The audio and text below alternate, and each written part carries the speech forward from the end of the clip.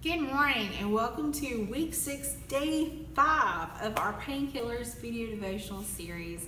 I hope that you've enjoyed our week. Happy Friday to you. We're looking forward to Sunday when our pastor is going to bring another amazing word from God on our Painkillers sermon series. So look forward to seeing you all there. But today, we're going back to intellectual sabotage. And so we've been talking about Pharisees and peasants this week. And so yesterday we talked about peasants for the first time, and today we're going right back there to kind of finish up this idea of being a peasant. So, a Pharisee is someone who gets caught up in their own glory. They they want to be noticed, they want attention, they have a puffed up view of themselves. On the other extreme from that is this idea of being a peasant. This is someone who is so caught up and they so embrace this idea for themselves that they live their life in the context of being worthless and they refuse to be the person that God has made them to be. So today we're going to do a little self-check to see if you have become a peasant, if you've embraced that for yourself. So here are some things that you might hear yourself saying if you've embraced the mentality of being a peasant.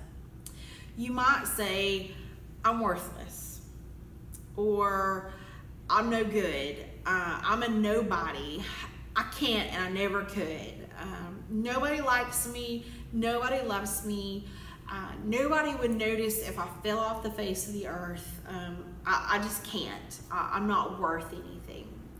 And so, whether you're a Pharisee or whether you're a peasant, just to set the record straight for both camps, we're going right back to Scripture. And so, we're going to the book of Galatians, New Testament book. Um, we're going to read out of chapter 4, starting in verse 4. If you're driving down the road, let me read to you. If you're sitting at home with your coffee and your Bible, break it out and let's get right to it. Galatians 4 4.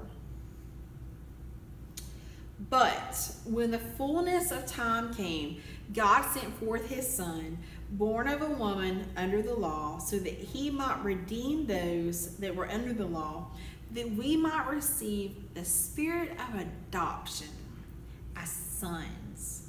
And because you are sons, God has sent forth the spirit of his Son into our heart, crying, Abba, Father. Therefore, you are no longer a slave, but a son. And if a son, then an heir through God. See, friends, we're not equals with God like the Pharisees want to be. Nor are we defeated or abased like the peasants and the beggars. We were runaway and we were rebellious, yes. But one day the king passed by and he looked on us with love and he offered to make us his children. He took us in his house and he gave us a good scrubbing and he made us righteous in his own image and he dressed us in pure white. And because of that, we are no longer slaves. We are children of God. We have been adopted by love. So don't forget, don't exalt yourself above what he's made you, but also don't return back to where you were. A princess has no business mucking out a stall, and a prince needs to be learning his father's business. Today, I want you to spend some time thinking about that. Think about what a privilege it is to be a child of the sovereign King, the Lord of the universe. Let's pray.